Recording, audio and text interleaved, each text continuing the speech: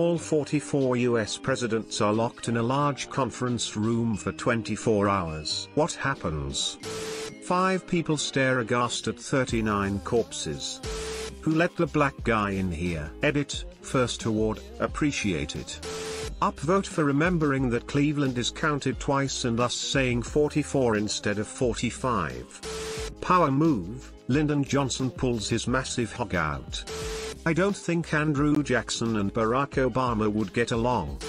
Washington yells, the fuck I tell you about having parties? Edit, holy crap, thanks for my first award. Trick question, this is secretly Lin-Manuel Miranda trying to get help writing the plot for Hamilton 2. Edit, thanks for my first silver. It was lovely to wake up to, hungry face. Donald Trump introduces Andrew Jackson to Twitter. Door opens. Teddy Roosevelt walks out with 43 scalps. Only one leaves. We should just have two Cleveland clones instead of it being 44. Clinton and Jefferson would be like where the intern's at. Trump would be, Mar-a-Lago has a way bigly a conference room. Eisenhower would be I told you fucks this would happen. Kennedy would be like, so this Cybertruck, are the windows really that strong? I should get me a Cybertruck. Lincoln and Kennedy stare at each other with a gaping hole in their heads. You too? Food and water is taken in account and is not a problem. And all dead presidents are brought back to life. Thomas Jefferson immediately calls for a revolution. The tree of liberty must be refreshed from time to time with the blood of patriots and tyrants. 44 walk in, only one walks out. Jimmy Carter, peanut farmer. Woodrow Wilson's pencil-looking head ace would go ballistic seeing Obama and they'd fight to the death. I would imagine a lot of them would ask Obama to pour them a drink or go make coffee. Washington scolds everyone because he said that they couldn't have parties in the House or anywhere in government for that matter. George Washington would be like, what the hell has happened in the 200 plus years since I've died? Question mark. Taft devours them all in a grisly feast. Abraham Lincoln destroys everyone in a mega rap battle.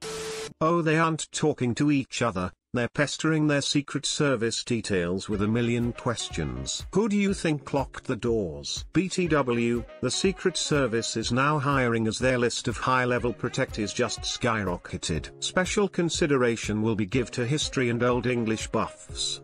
We can count on Nixon to record it for us. Nothing. Absolutely nothing happens. Same story as usual. Donald Trump complains to everyone about being the victim of a witch hunt. Andrew Jackson, deeply worried by this, ties Trump to a stake and burns him alive. Richard Nixon does the take the L dance at the, the three impeached presidents in the room. Teddy Roosevelt emerges from the room alone, and America is instantly better for it. It doesn't go well for Obama. A food fight to include dentures being thrown. Assuming they're all alive, like 30 of them stare at Obama. All the presidents still alive are probably horrified at the dead ones in the room. James Buchanan would be beaten up and robbed by Abraham Lincoln, and William Henry Harrison would spend the entire time trying to convince people he had in fact been the president. Meanwhile, Andrew Johnson, Bill Clinton and Trump would have bonded and formed a clique over complaining about being impeached, and JFK would confront Lyndon B. Johnson about the conspiracy theories. Carter, Bush, Clinton and Obama are sickened by the stench of the other 3940. Edit, Grover Math.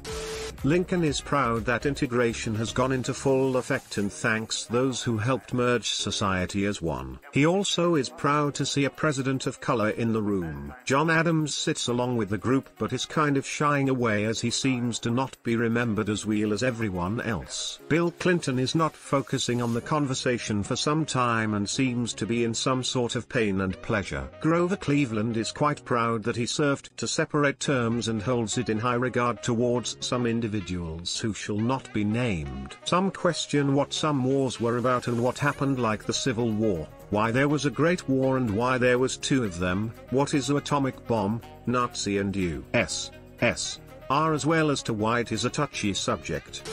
We hopefully finally get some of them to clarify what they meant by the Second Amendment. Taft proves that the stuck in a bathtub thing was a myth, Wilson apologizes for screening KKK movies in the White House, Harrison is sad he's only remembered for dying, and Washington shows everyone he didn't actually have wooden teeth, worse he took them from poor people and slaves.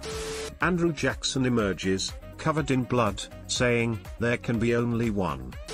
Trump fills them in on the latest top secret news then they all tell tales of top secret shit that went down during their presidency. I serve drinks and pretend not to listen and tell nobody what I heard. Someone's gonna challenge Trump to a duel because he'll offend everyone and he'll get shot. Thomas Jefferson shoves mac and cheese down everyone's throat causing them to choke to death then he would just go back and forth around the room in a swivel chair. George Washington flips his shit when he realizes political parties formed. How long before LBJ whips out his, oh, 20 seconds apparently. You guys went to the moon? Yes, the moon in the fucking sky. Wouldn't it just be Congress 2.0 though? Thanks for watching. Don't forget to like and subscribe for more.